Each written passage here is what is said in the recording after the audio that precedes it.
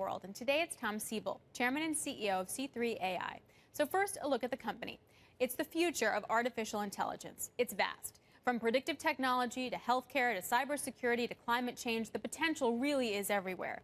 Enter C3 AI, led by Siebel, the software giant and legendary techie. Here's how it works C3 AI provides the platform, and their customer then uses it within their expertise. Now, one way is by selling subscription services for analytic functions for energy management, like inventory optimization or customer relationship management and predictive maintenance. Now, a popular example of this is if, say, a piece of equipment uh, needed a replacement part, like on a plane, for instance. AI can tell you about that two days before the part fails, saving you time, money, and a headache.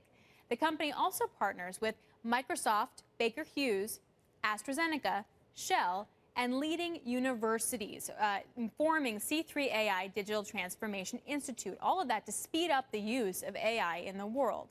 Now, at the end of 2020, it had 30 clients, with three of them making up 44% of its revenue, and the lion's share really coming from Baker Hughes at 70%, a huge believer plus a minority owner.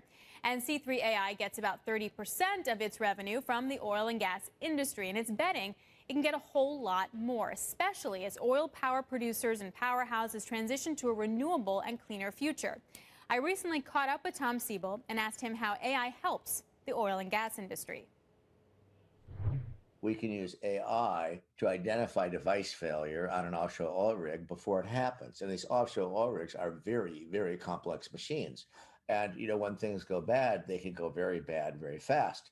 And uh, you know, as as we all know, and the, the cost of failure is basically incalculable.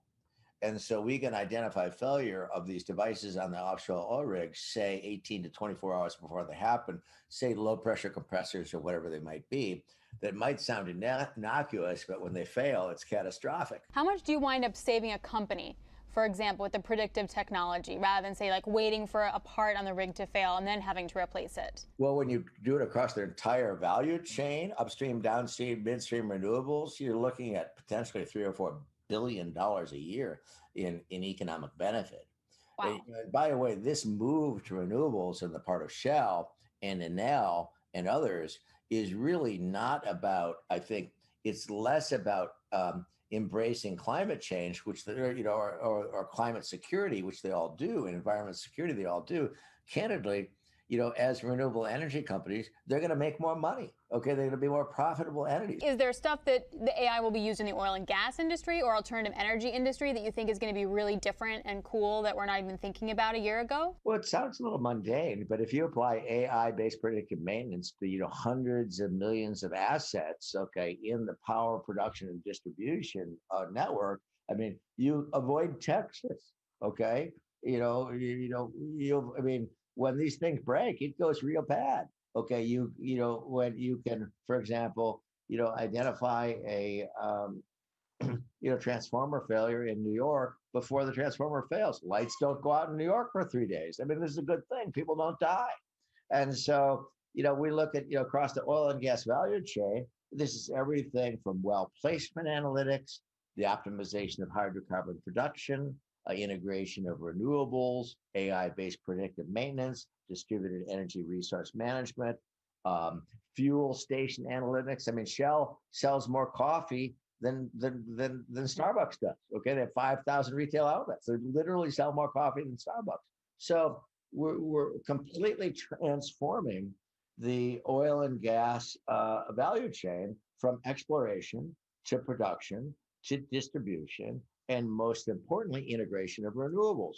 And there's a very, very critical AI problem called distributed energy resource management, which has to do with the balancing of these energy sources. And just to, on that point, does that mean like if you're a utility company in your power mix. So it's making sure you have the right power mix. The load on the grid has to balance at any given second at the amount that's being produced. Okay. That has to stay in balance. You just can't take excess power and power it into the ground.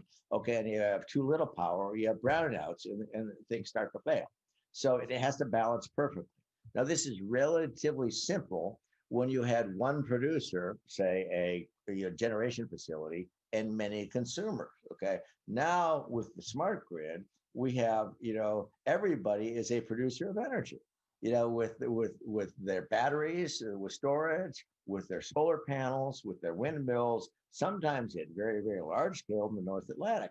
So this this this this uh, this business of distributed energy resource management, where we're balancing load and demand in real time across a grid infrastructure that might be like Western Europe, is a extraordinarily difficult problem, and it is an AI problem.